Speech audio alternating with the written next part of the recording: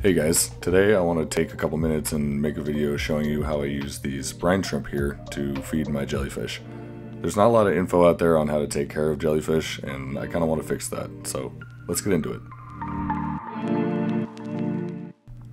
So I've got a couple jellyfish tanks, this being the first one, um, my most recent one I should say, being filled with spotted lagoon jellyfish.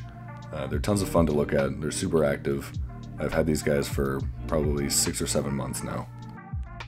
My second tank is filled with these Atlantic Bay nettles, which I've had for just over a year now. They're in a little bit of a rough shape, um, so they're going through a little bit of a rehab phase. You can actually see the cone shape that one of them is starting to develop. I'm trying to fix it, but regardless, they do still need to eat every day.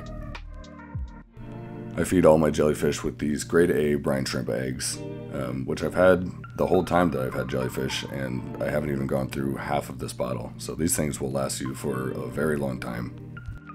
The hatchery that these eggs came with is super easy to use too. I just dump a bunch of these eggs into the outer ring, and since brine shrimp are photosynthetic, once you put the cover on, they'll swim into the middle where this little cup is. And it's pretty impressive how many hatch in just a span of a day or two. I like to keep my hatchery just on my desk here, underneath this lamp that I also use to take care of my plants. Uh, that way I can kind of ensure that it has light 100% of the time. In order to get these guys out of the hatchery, it's super easy. You just grab the handle of this little cup and let it strain out which is honestly the most annoying part because I'm very impatient and sometimes it takes forever. But here's what it looks like afterwards. It's kind of interesting. You can't see any movement or anything like that.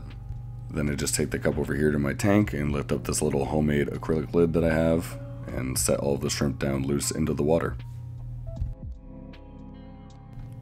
And you can see pretty immediately how quickly they're dispersed. Jellyfish are filter feeders, uh, which really just means that they take forever to eat.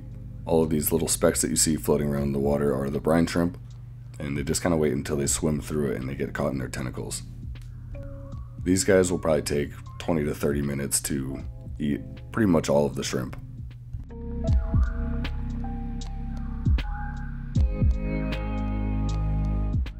The process for my nettles is really no different. Uh, the tank is a little bit bigger, and these guys are less active, so they actually take a lot longer to eat all of the shrimp. Unfortunately, a lot of the shrimp do get sucked into the back chamber and filtered through like the rest of the water. The nettles take around 45 minutes to an hour to actually eat all of theirs. Overall, the process really isn't too labor intensive, uh, but jellyfish do require a lot of attention. But if you're willing to give them what they need and kind of learn their body language to find out what they need, they're really great pets. Thank you guys for watching, and I hope you have a great day.